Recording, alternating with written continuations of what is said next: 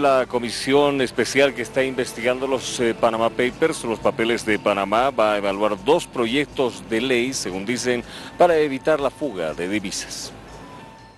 Eh, sí, nosotros, lo dije hace un tiempo atrás y lo reitero en esta oportunidad, vamos a plantear más de un proyecto de ley para legislar sobre temas de paraísos fiscales. Hay vacíos legislativos, hay vacíos institucionales que hay que llenarlos para que Bolivia pueda tener la posibilidad de investigar.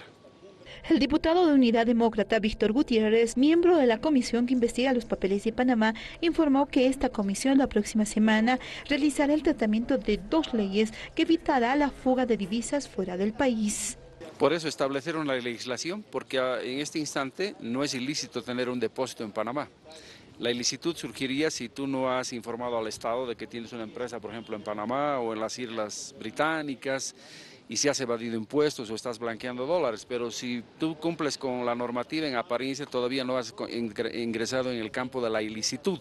Por eso es que hay que fijar parámetros para que no sigan saliendo dineros que pueden servir para el desarrollo del país. Además, Gutiérrez manifestó que este próximo 6 de octubre se presentará el fiscal general en la comisión para brindar su informe, siendo una de las últimas autoridades que es llamada por la comisión para brindar un informe sobre las investigaciones que se realizan sobre este tema.